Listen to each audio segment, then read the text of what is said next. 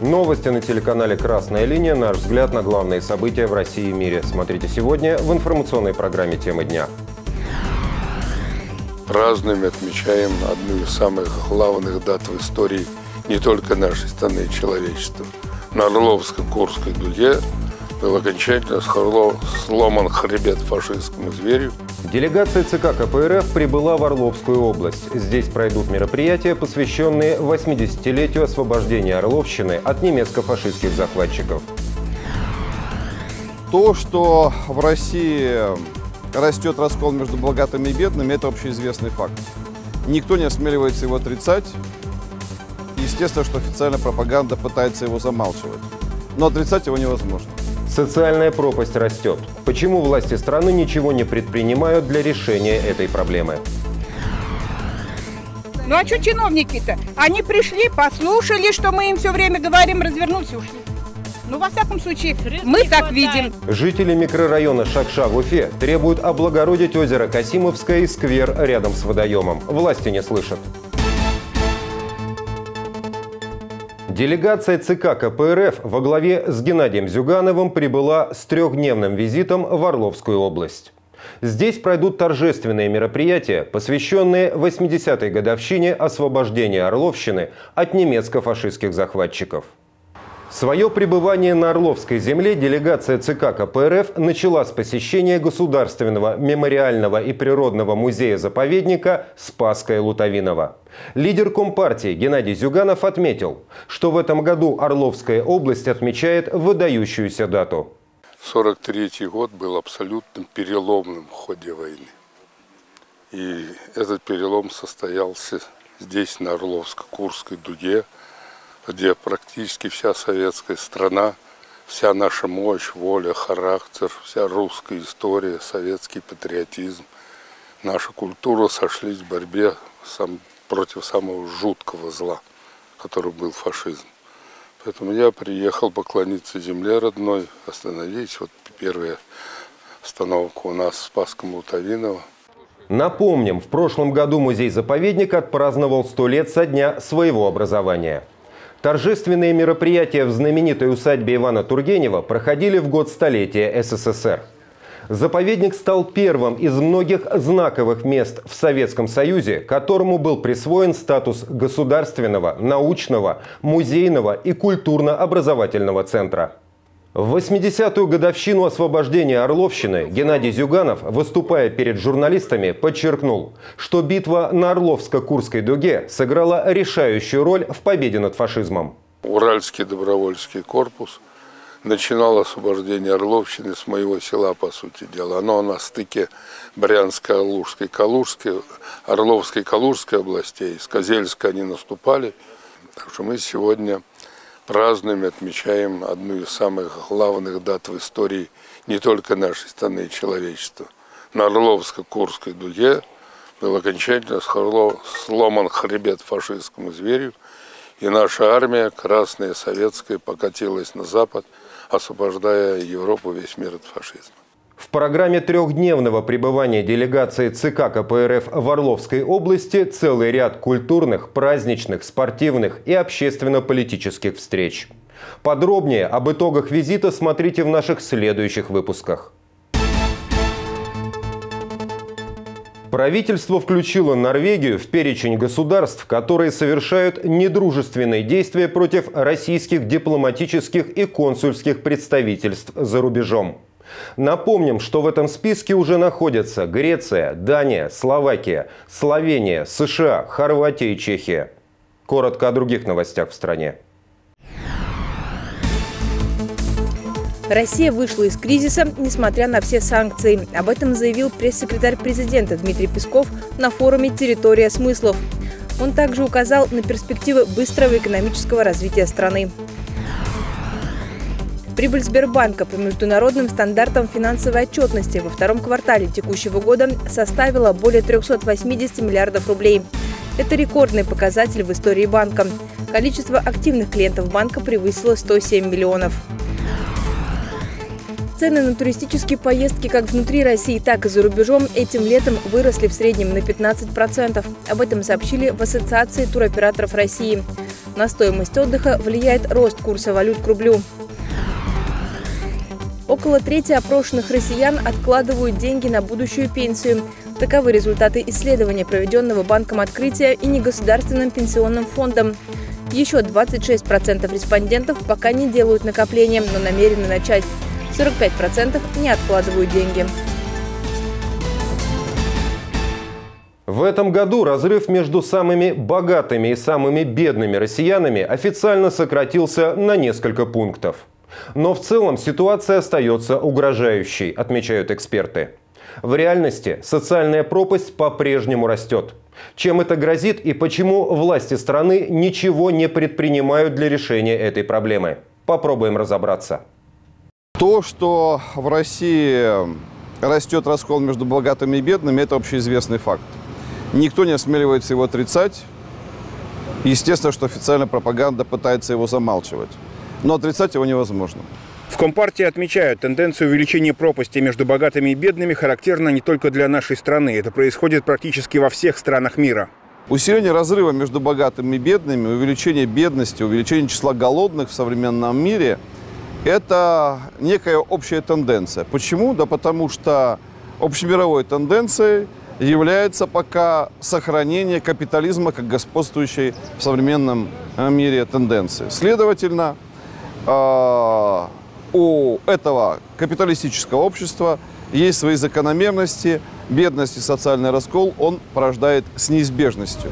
Единственная страна в мире, которой удалось решить проблему тотальной бедности, это коммунистический Китай. И сегодня у всего человечества есть потенциал, чтобы значительно сократить социальный разрыв и обеспечить населению наиболее благоприятные условия для жизни, уверены в КПРФ. Материальные условия созданы. Не хватает правильной социальной и политической модели. И э, именно потому, что такой подход, э, что такой переход необходим и желателен, желателен и возможен, э, свою популярность сохраняют левые идеи, несмотря на постоянные попытки их дискредитировать. Эксперты отмечают, что правящий класс и в России, и в других странах сопротивляется трансформации общества и возможности перехода на социалистические рельсы. Но, как показывает историческая практика, этот процесс неизбежен.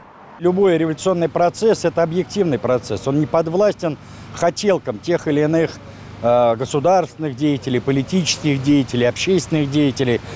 По закону диалектики происходит количественное накопление каких-то изменений, которые затем превращаются в качественные изменения, принципиально качественные изменения. Этот процесс неизбежен. История, э, доказательства, история имеет немало доказательств этому. Не так давно Владимир Путин заявил, что Россия исчерпала лимит революции в прошлом столетии. По словам экспертов, революционный путь нельзя понимать однозначно, ведь это перемены качественного характера, когда происходит переход от одной модели развития к другой. Поэтому говорить о том, что Россия исчерпала – а, ну, слушайте, это вне исторический подход, вне э, философский подход. Э, поживем, увидим, что называется. Но надо всегда иметь в виду, что любые революционные потрясения прежде всего готовит сама власть. В Компартии особо отмечают, что перемены в российском обществе назрели давно. В ответ на эти настроения власти и официальные СМИ усиливают антисоветскую риторику. Жители пытаются убедить, что смена социально-экономического курса страны фактически равна гражданской войне. Мы э, специально доказываем, что это ложные посылы, что это попытка обмануть людей – и что для нашей страны, как и для всего мира, революционный переход к социализму – это не гражданская война, это не кровопролитие, это спасение от огромного моря нищеты и бедности, который сегодня душит, убивает и уничтожает тысячи и миллионы людей. Исторический опыт доказал, только при социализме наша страна достигла небывалых высот. Об этом говорил лидер КПРФ Геннадий Зюганов в эксклюзивном интервью нашему телеканалу. Идея справедливости, коллективизма, дружбы и сильного государства – это то, без чего наша страна существовать не может. Вот сейчас президент тоже пришел к этой идее и говорит, капитализм зашел в тупик. Да, ну, другого варианта, как обновленного социализма, а в условиях войны военного социализма, у него тоже нет. Он должен из этого 30-летия сделать далеко идущие выводы. Расширение блока НАТО на восток может усилить гонку вооружений и спровоцировать новую холодную войну. Об этом заявил посол Китая в России Джан Ханьхуэй. Он добавил, что Североатлантический альянс стал главной причиной обострения кризиса на Украине. Коротко о других новостях в мире. В ряде городов Нигерии прошли марши протеста, организованные профсоюзами. Демонстранты выступают против повышения цен на топливо. Также участники акций требуют увеличить размер минимальной заработной платы. В Тель-Авиве десятки тысяч человек приняли участие в очередном митинге против судебной реформы. Протестующие, собравшись в центре города, скандировали антиправительственные лозунги. Ранее парламент Израиля утвердил закон в рамках судебной реформы, ограничивающий полномочия Верховного суда. В Иране объявили выходные дни из-за аномальной жары. Температура воздуха по всей стране поднялась до 40 градусов по Цельсию. Власти приняли решение временно закрыть правительственные учреждения, банки и школы. На японский остров Окинава обрушился мощный тропический тайфун Ханун. В результате удара стихии несколько сотен тысяч домохозяйств остались без электричества. Десятки человек пострадали. Жители микрорайона Шакша в Уфе требуют от администрации Калининского района привести в порядок единственную зону отдыха – Касимовский пруд и сквер. Водоем заболотился, а сквер заброшен. Шакшинцам помогают коммунисты. Вот деревья, все макушки, они были с листьями. Сейчас они все сухие. Остаются только поросли. Здесь они не пойдут. Почему? Потому что их никто не отливает. Чахлые деревья, криво уложенная тротуарная плитка. Сквозь щели пробивается трава. По словам жителей, сквер у озера Касимовское заброшен. Потому что денег на нас нету, бюджетных средств не хватает. Вот я вам показала, вот они план составили даже, но план у них не выполняется. То есть, говорю, на основании чего этот план-то у вас? А Вот такой вот план, вот. И это самое, в 2024 году закончится. Но посмотрите вы сами. Время идет, а действия администрации района, по словам жителей, напоминают мартышкин труд. Сквер разбили в 2020-м. Высадили деревья и забыли. Они высохли. В 2021 году деревья заменили и опять забыли. В сквере не хватает лавочек. Потому что гуляют пожилые женщины, гуляют женщины с детьми. Ну, хоть бы несколько скамеечек поставили. Это просто обязательно нужно поставить. Жители напомнили, что сквер был разбит по программе поддержки местных инициатив на условиях софинансирования. К средствам бюджета они, что называется, собрали с миру по нитке и добавили несколько сотен тысяч рублей. Теперь упрашивают власти, чтобы за сквером был обеспечен должный уход. Они мне ответили, а что надо? Я говорю, нужно. Они приехали через два дня, только после моего звонка. Опять же полили только а, лицевую сторону. Здесь полива, как вы видите, нет, и не было никогда. Все, показушность зашла, закончилась. Озеро Касимовское могло бы стать жемчужиной этих мест, но без ухода водоем заболачивается. По словам жителей, юридически он ни за кем не закреплен. Чиновники только посоветовали обратиться к кадастровым инженерам, чтобы выделить участок. Вот здесь вот имеется сливная труба, которая идет с Сигмы из других предприятий. Она просто загаживается. И чистить ее в настоящее время. Как мы 10 лет почистить озеро, почистите. Но его не почистишь, пока, пока мы не вот эту сливную трубу не, не закроем ее. Меня э, зам главы э, района э, лет 10 назад еще просил по- этот, помочь с очисткой. Они не могли найти драглайн, который чистит этот, э, озера. Я им нашел его.